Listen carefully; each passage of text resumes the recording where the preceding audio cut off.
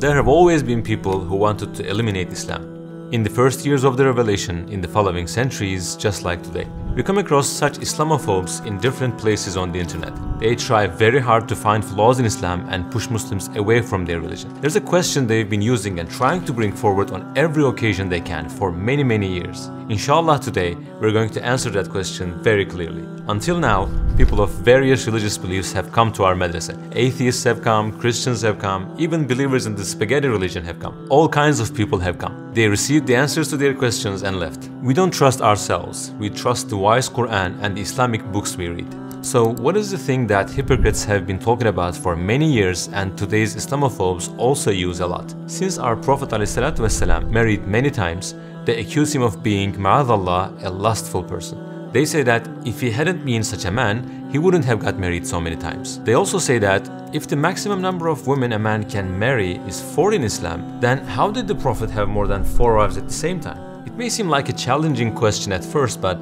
it is easy to understand that it's actually a slander. How?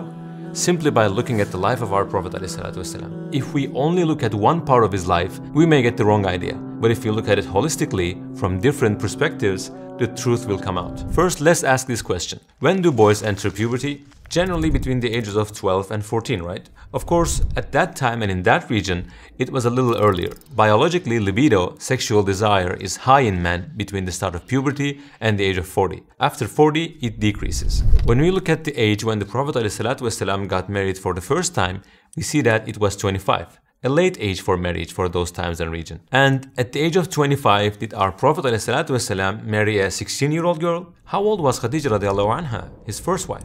40 years old, and she was a widow. So he married someone who had been married before.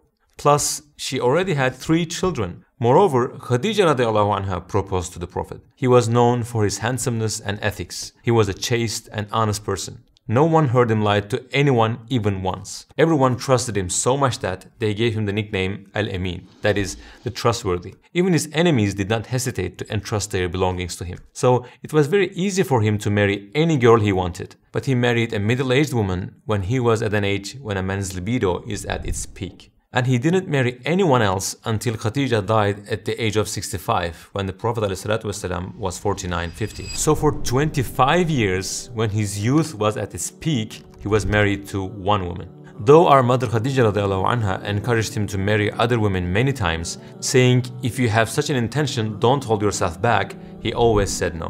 When she became an old woman and lost her beauty, the Prophet ﷺ didn't even think of looking around for other wives. After her passing, for two years, he stayed single. So which person in their right mind could think that such a person was lustful? If he hadn't been that way, wouldn't it already have been evident in his youth when libido is high in man? However, his life shows the opposite. The multiple marriages of the Prophet ﷺ that they mention took place after he was 50 years old. Then those marriages must have had different reasons and benefits. We are going to deal with them too, but when we look at his life, we clearly understand that nobody can find any excuse to slander him for being a lustful person. What are the reasons for those marriages? What is the wisdom behind them? Most of us like historical war movies, right? In those movies, we see the custom of marriages between tribes and kingdoms. For example, the daughter of the King of Scotland marries the King of England. There are many marriages like that, and there are really countless examples of it in history. So, what do you think is the purpose of it?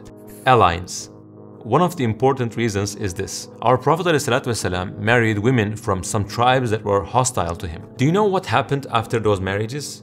If the leader of a society married his daughter off to the Prophet, would he want to make war with him? That is one of the wisdoms behind the marriages of our Prophet ﷺ. State relations, strategic relations. Our mother Juwayriyah anha was an example of it. Also, even if there was no animosity because there was a tribal culture at that time, generally different tribes did not interact with each other in a warm, nice way. They were protective, always on guard. And since our Prophet ﷺ's main mission was to deliver a message, it was very strategic and logical for him to reach people through marriage. The second wisdom. When there are wars, the population of man decreases significantly. At the time of the Prophet ﷺ, there were many widows because of that and for some other reasons. Like some of the companions, our Prophet ﷺ also married such women who needed protection. Indeed, most of our Prophet's marriages were with widows. Do you think a lustful man would marry a 50-year-old woman with five children out of lust? Does it make sense? I mean, isn't it clear that the intentions of those who say so are not good and sincere? Now the third and the most important reason. Have you heard the expression Azwaj al-Tahirat? It is a term used for the wives of the Prophet ﷺ. If you pay attention to it, who takes care of your education, especially at home? Mothers, right?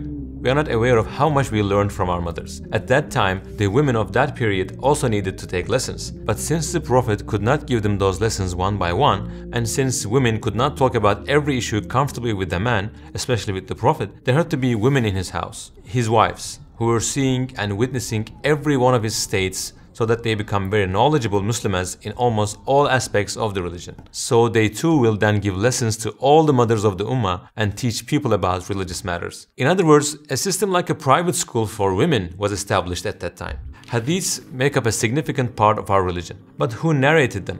The companions narrated the hadith uttered outside the house of the Prophet ﷺ. But what about the hadiths that are said inside the house, where there are no companions? Especially the ones that are about special situations of women. Who narrated them?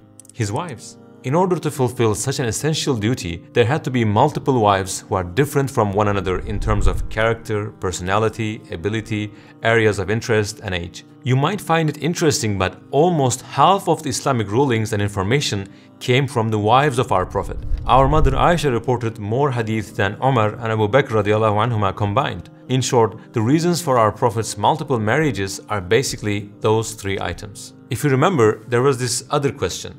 How did our Prophet ﷺ have more than four wives at the same time, although the marriage of a man is limited to four women in Islam?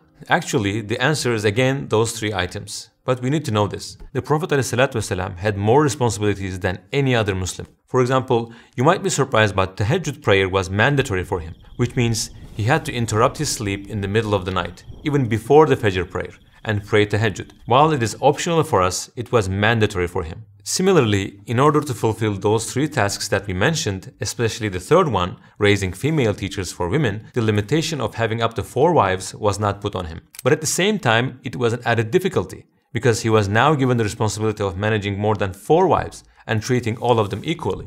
As a result, when we look at what we have talked about so far, we notice something like this.